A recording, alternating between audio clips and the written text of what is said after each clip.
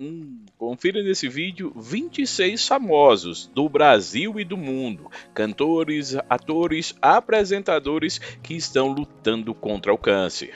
Curte, comenta, compartilha. Bloco Social, começando! Oi, gente. Vamos começar pelo cantor Anderson Leonardo. Ele fez muito sucesso e faz ainda no grupo Molejo, um dos maiores grupos de pagode dos anos 90 e 2000. Anderson está cuidando de um câncer na genitália há cerca de dois anos. O câncer se espalhou, mas a gente segue confiante acreditando que ele vai se curar. Carlos Villagrán, ele ficou famoso no mundo inteiro por dar vida ao Kiko da turma do Chaves.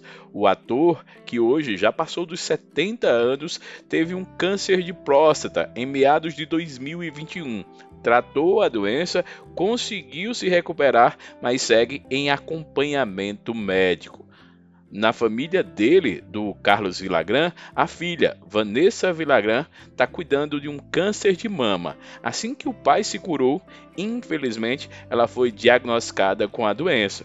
Mas claro, a gente segue na torcida.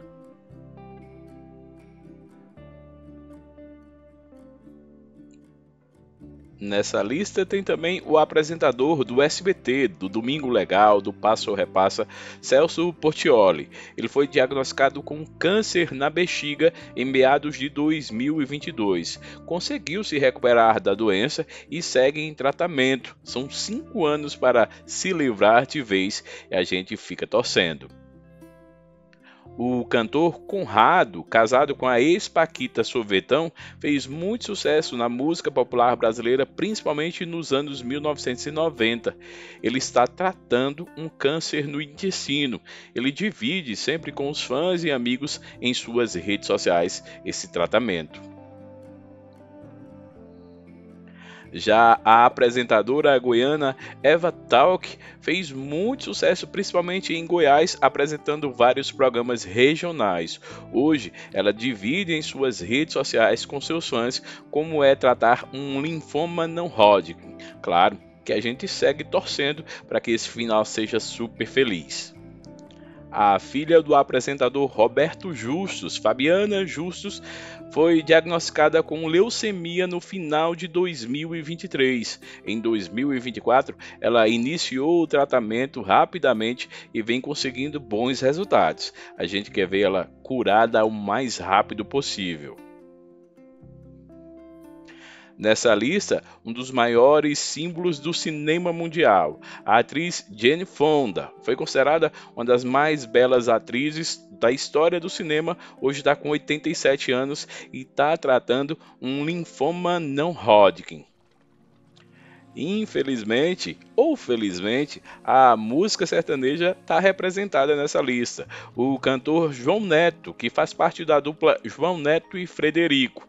Em 2022, ele anunciou um câncer na tireoide. Tratou, se livrou da doença e continua em acompanhamento médico e fazendo shows pelo Brasil.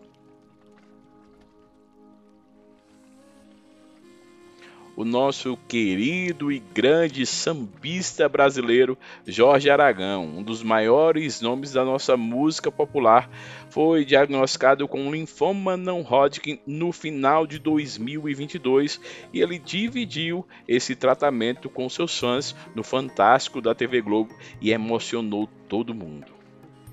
A apresentadora e jornalista Lilian Ribeiro, da Globo News, é um sucesso na TV. Ela foi diagnosticada em meados de 2020 com câncer de mama, venceu a doença e segue em acompanhamento médico. Quanta felicidade! Chegamos então à atriz Lorena Comparato, que brilhou em Resga Hit, série da Globoplay e em outras novelas da Globo. Ela está tratando um câncer de pele. Todo o acompanhamento é feito pelas redes sociais e muita gente, eu e você, seguimos torcendo por sua recuperação. A apresentadora e jornalista, também atriz e cantora Marília Gabriela descobriu um câncer de pele com uma visita de rotina no médico em São Paulo. Era só uma pinta, mas o médico pediu para checar e era câncer de pele. Ela retirou e segue em acompanhamento médico o cantor Michael Bolton, sucesso no Brasil cantando a música da novela O Clone, 2001.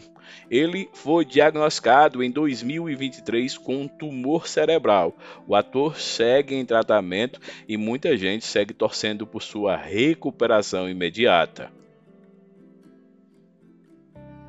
A atriz de X-Men e de várias séries da Netflix, Olivia Munn, foi diagnosticada em 2024 com câncer de mama. A atriz segue em tratamento e também divide com os fãs nas redes sociais todo esse momento, o início do tratamento. A gente também torce por ela. Chegamos ao modelo e também ator Paulo Zulu, um grande sucesso dos anos 90 e 2000 nas passarelas brasileiras. O modelo tratou um câncer na bexiga, conseguiu vencer a doença e segue em acompanhamento médico. Já a apresentadora, cantora, uma das mais famosas influenciadoras do Brasil, Preta Gil, fez todo o acompanhamento para os fãs, menos o ex-marido, de um câncer no intestino. Ela conseguiu vencer a doença no finalzinho de 2023 e segue em acompanhamento médico. O ator Sam Neill, de Jurassic Park e vários filmes super conhecidos no Brasil e no mundo, foi diagnosticado no finalzinho de 2023 com um linfoma raro e agressivo em todo o seu sistema circulatório. Apesar de ser uma doença rara, o ator segue confiante que vai conseguir sim se livrar dessa doença.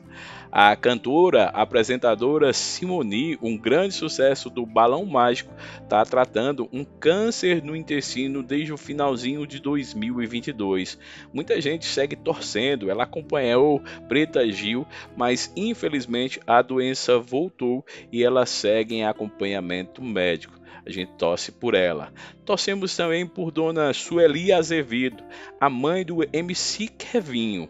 Pois é, Dona Sueli foi diagnosticada com câncer de mama em 2023 e o filho está lá dando toda a força. Ela segue em tratamento.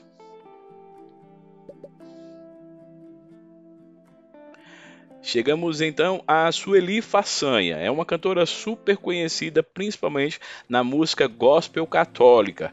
Ela foi diagnosticada com câncer de mama no finalzinho de 2021-22 e está conseguindo se livrar da doença e ela sempre que pode divide com os fãs, dá seu testemunho de como é vencer a doença.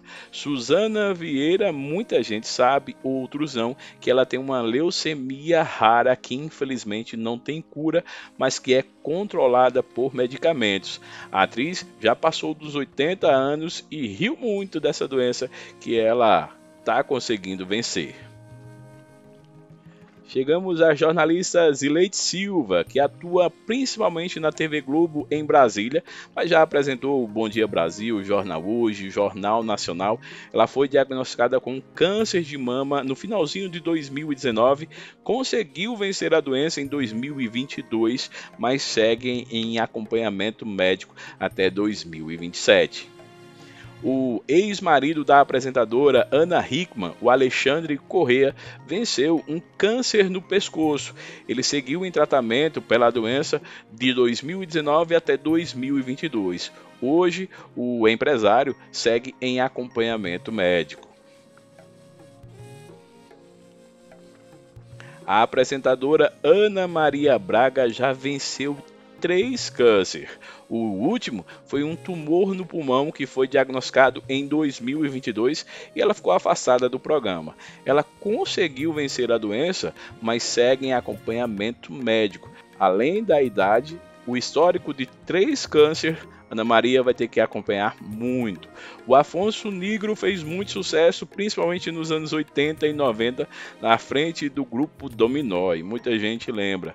Ele foi diagnosticado com um tumor no rim, assim, repentinamente. Vou no médico e descobriu a doença, foi operado com urgência e segue em acompanhamento médico. E aí, qual deles você não sabia? Qual deles você sabia? Ficou faltando alguém? Curte, comenta, compartilha. Bloco Social, um beijão. Tchau, tchau.